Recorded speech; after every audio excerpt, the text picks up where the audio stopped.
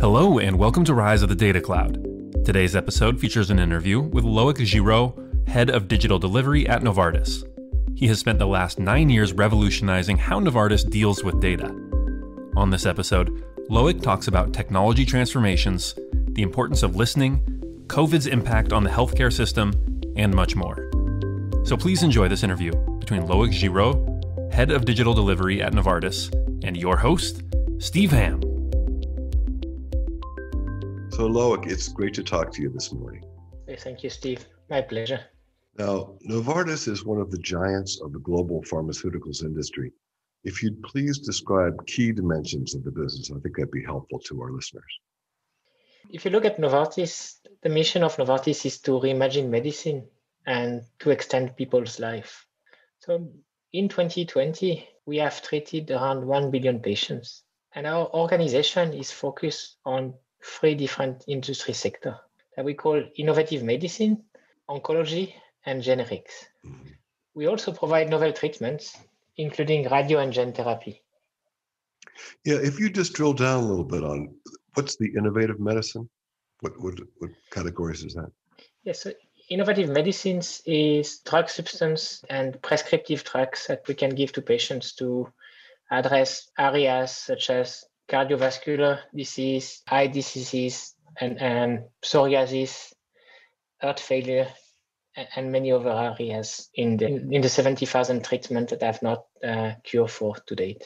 Yeah, yeah. There's still a lot of work to be done, isn't there? All right, well, that's a good explanation. And you said generics. That's is that a big part of your business, or is that a lesser important part? I think the generics is is probably a, um, 15% of our business today. Right? And uh, obviously, you know, uh, the largest part of our uh, business is our innovative medicine sector. Yeah. And as I understand it, you don't do vaccines. We actually sold off our vaccines unit to GSK, I think it was three years ago.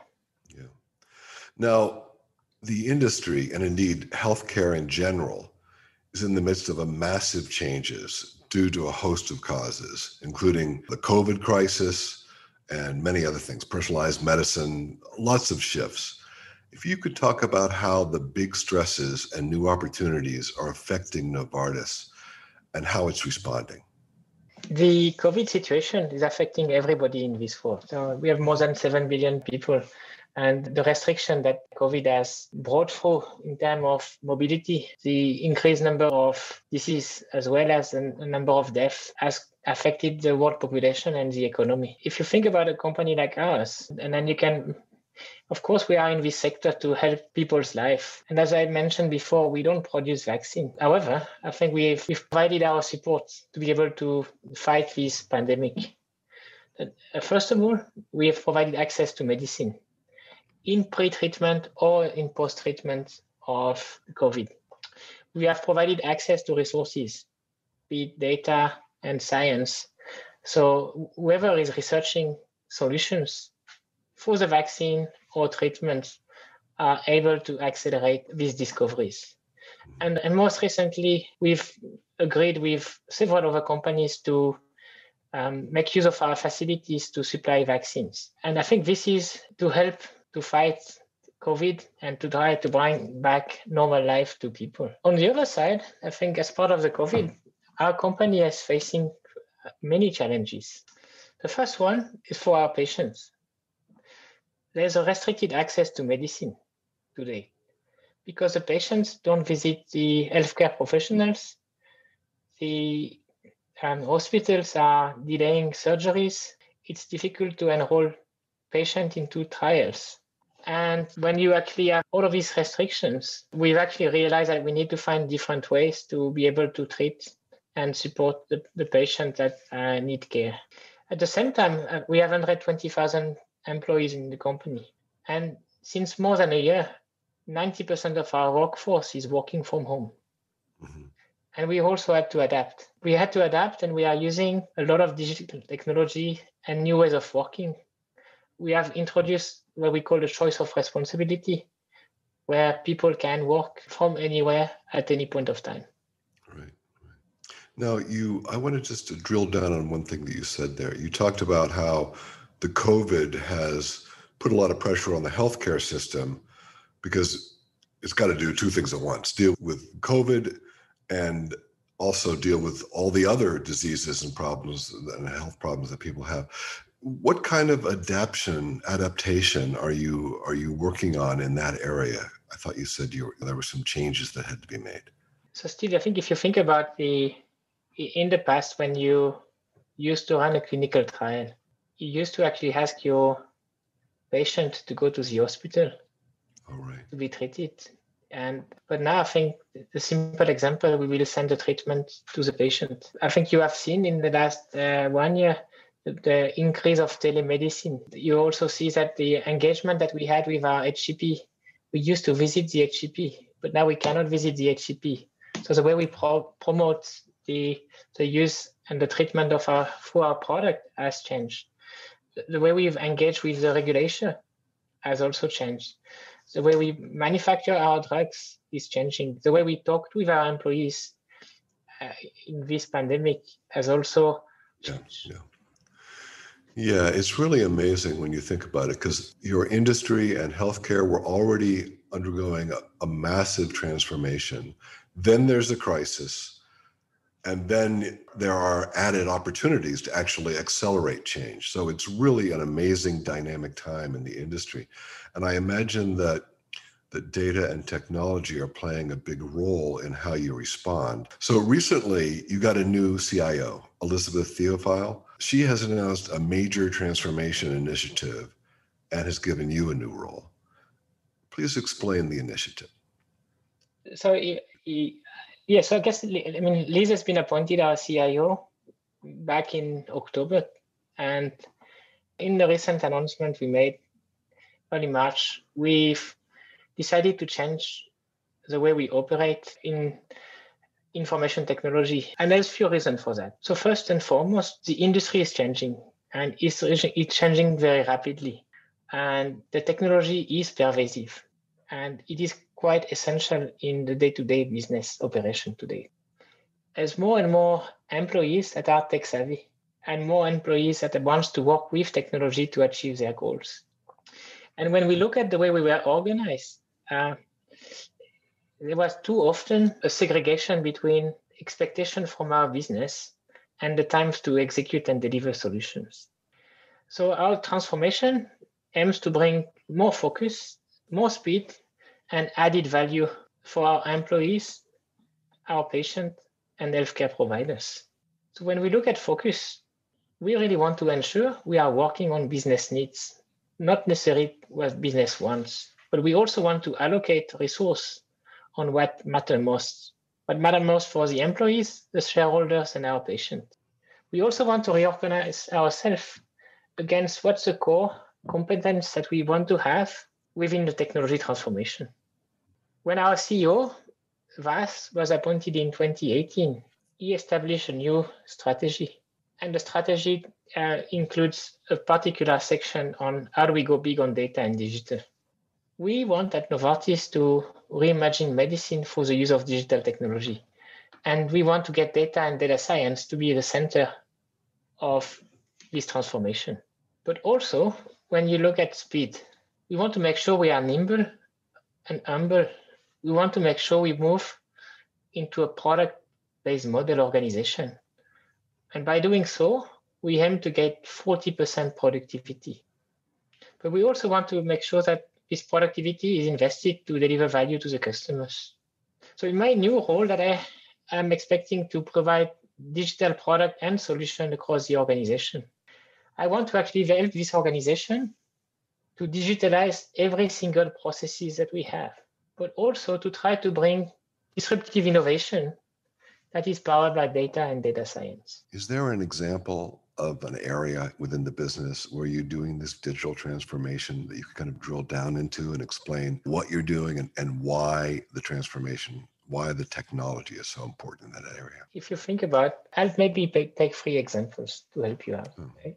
okay. so if you look at the value chain of an organization like ours you start and you research so you research drugs and you go into development of your drug then you manufacture that drug and then you're giving access to that drug through sales to a patient. Now, if I take the example of a drug research, with the explosion of data internally and externally, and the use of digital technology such as artificial intelligence and data science, uh, but also cloud, you're now able to utilize a much a much larger amount of data set to be able to process information and um, discover target population patent and connect different insights that you could never ever have done before. And when you think about the time it takes to bring a drug to market it's about 12 years today.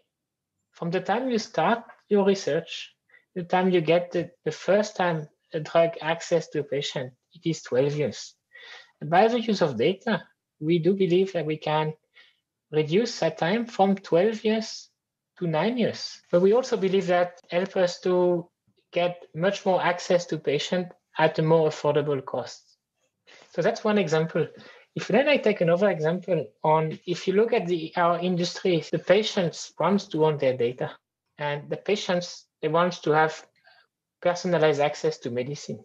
So we actually working to provide drug and services to support the drug, such as software as medical device. And you're actually providing a treatment to your patient and a solution. Uh, and this digital solution helps the patient to receive a better treatment. So let me make sure I'm, I'm understanding. So the healthcare provider gets this software tool that helps them either diagnose or, or figure out what the right treatment is for the for a particular uh, patient. Correct? exactly. They can be in the diagnose phase, they can be in the treatment phase. If you think about, I believe there's more than 60% of our patients that don't complete their treatment. Oh, so you could also use software as a reminder to the patient of, oh, it's time to take this medicine and things like that. Because a lot of people use those little plastic containers and and even with that you can lose track of, of where you are, things like that. Exactly, Steve. Yeah, that makes a lot of sense. Hey, in the, in that previous answer, you mentioned the cloud as being an important part of the digital transformation. Could you drill into that a little bit more? What is the role of, of the data cloud in particular and the new initiative? You know, I've been working in this area for 20 years. And for the first 10 years of my career, a lot of data was created when it was difficult to consume because there was no system that was able to process the volume of data was created and to be able to retrieve the information in a due time. In the last five years, every over year, the data double. And the every over year, you will find an incredibly source of data. And in an organization like ours, 90% of the data we have is unused. And if you're able to ingest, curate, and link your data, you have an incredible source of know-how. So when I look at the cloud is an accelerator for knowledge interpretation and insight generation. And we would never be able to get access to this data in a timely manner with any other previous technology when we started our journey three years ago, we didn't think we would be able to have the outcome that we are getting today. We didn't think the volume of data would be so important. We we didn't think the technology would be mature so fast. We didn't think we could consume what we have. But the investment that has been made, technology companies, the system integrator, the end user company in this area, and the progress help us to be able to accelerate the digital transformation. That is really interesting. You know, it's funny. Just yesterday, I was involved with a group that was discussing a new phenomenon or new thought called warm data.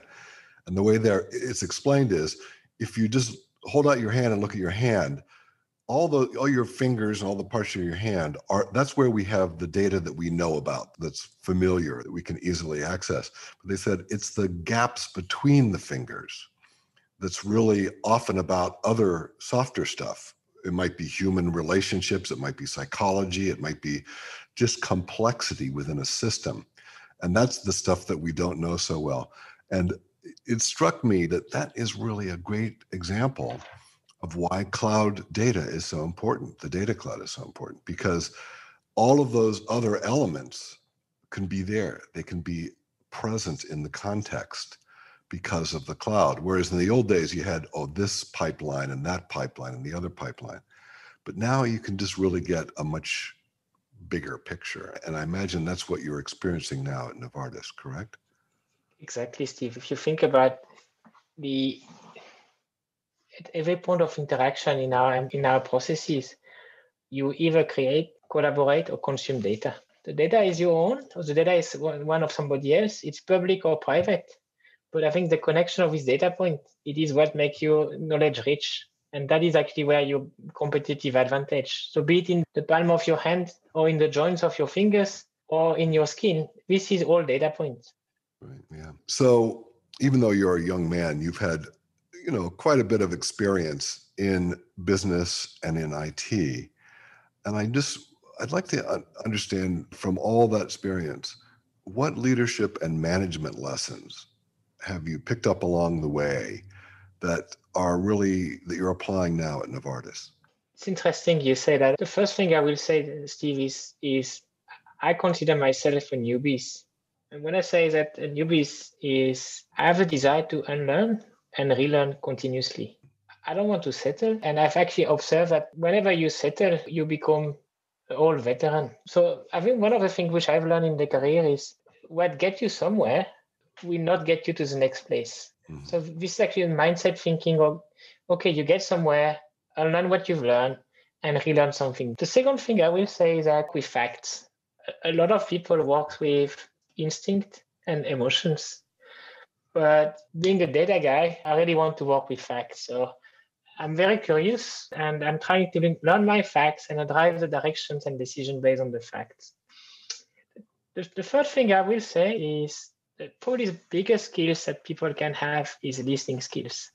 If you really listen, and, and when I say listen, you really listen to what the person is telling you, you learn so much. And if you can connect what you learn, you have a huge source of insight. And if you associate that with empathy and emotional intelligence, you can truly become a new leader. Yeah, that's interesting. I think that's uh, the, the importance of listening and listening deeply to understand. You know, when I think about so many experiences I've had in my professional life in meetings, it's almost like people listen just to see when the moment is that somebody's going to end a sentence that they can come in and say something else. And I think that's kind of a product of kind of a competitive internal competitiveness that really isn't very constructive. But I think the the kind of listening you're talking about is really constructive and really can help us make important, significant advances, not just incremental, but the bigger one. It's, it's, no, we've talked. About, if, go ahead. If I may complement yeah. that, because I'm a do I'm a true believer that uh, when people open up and you really listen, you don't have to answer. You just have to say thank you. Mm. Thank you. Um, Let's get back into some of the details about the data cloud. I know that Novartis is a Snowflake customer. When and why did the company start using Snowflake's technology?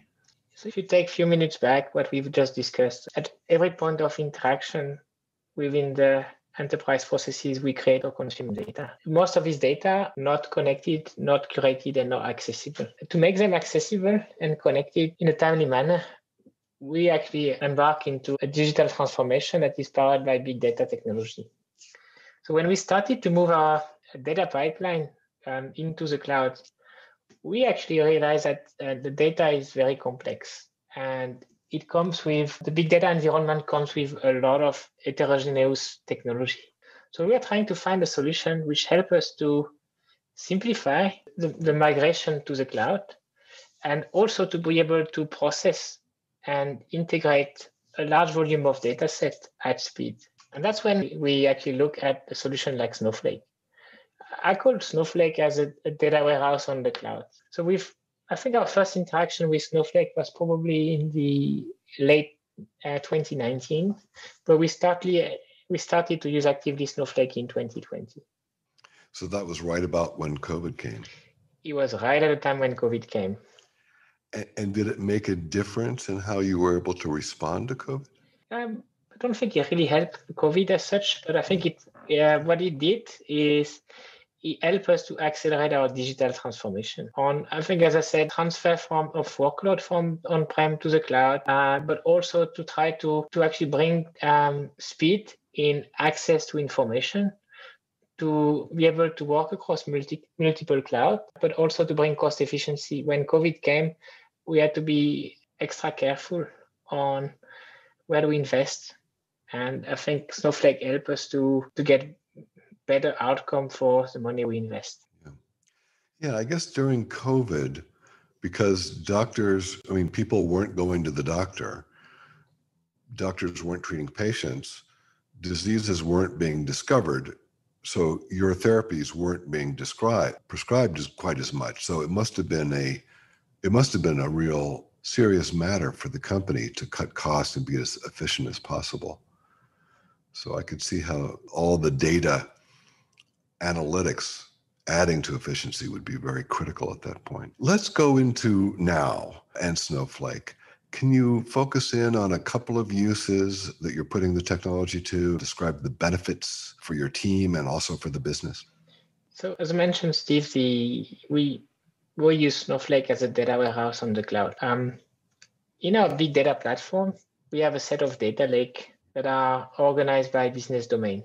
And from those data lake, we are creating digital products. And the digital product are using Snowflake as a technology to combine different data sets and to use a business logic with data set to particularly respond to certain business problems. So if I look at a few examples, the first use case we did in Snowflake is to process incentive compensation and calculation for our fee. But we also use Snowflake for the next generation engagement, or how do we engage with HCP and HCOs. And now we're starting to use Snowflake for our clinical trial monitoring, our manufacturing footprint, our financial forecast. So at every point of time where we have a use case that needs a digital solution, we intend to use Snowflake to be able to aggregate and consume the data set into a very simple visual information. That's really interesting because when I think about the development of the modern corporation, one of the significant things was that the corporation divided into basically units, functional units or business units. And each of the, every one of them started operating a little bit in isolation.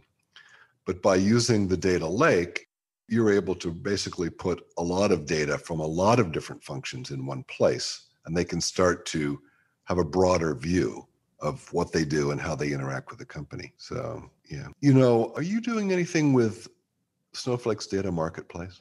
So, we actually don't use the marketplace as such. We actually are creating our own marketplace. So, we Snowflake is part of our ecosystem, but we have in our big data environment, we have different solutions and we also have different data sources. So we wanted to give access to our data no matter where they reside. And hence we've decided to create a custom marketplace. Mm-hmm. You know, it's interesting when I do think about it. I was talking to somebody about this yesterday. When you have, you know, a marketplace that's public and where a lot of companies and their suppliers and customers are there working together and sharing data and then you have all these third party data vendors in the same place.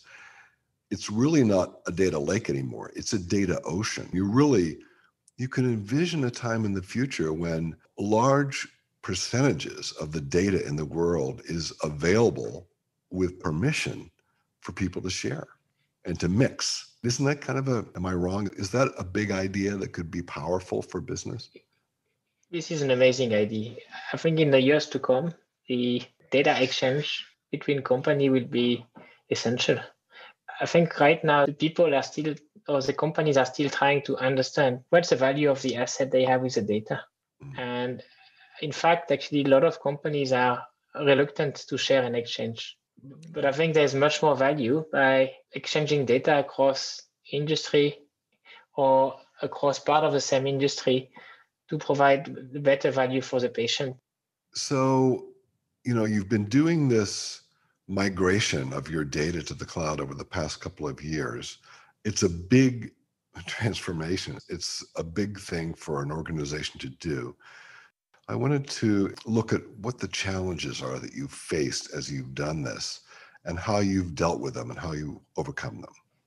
Well, that that's uh, it's an excellent question, Steve. I, I think if I reflect on when we started the cloud journey in 2016, there was a lot of skepticism um, from the organization.